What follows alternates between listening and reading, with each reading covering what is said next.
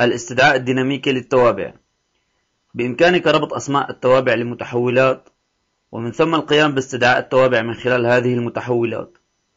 سنشرح هذه الفكرة من خلال مثال بسيط. ضمن مستند نص جديد وضمن معرفي لغة ال PHP قم بتعريف التابع say hello كما تعلمت سابقا والذي يقوم بطباعة العبارة hello من خلال الأمر print hello الآن قم بإسناد اسم التابع. Say hello إلى المتحول النصي. Function holder. ثم قم باستدعاء التابع باستخدام المتحول function holder.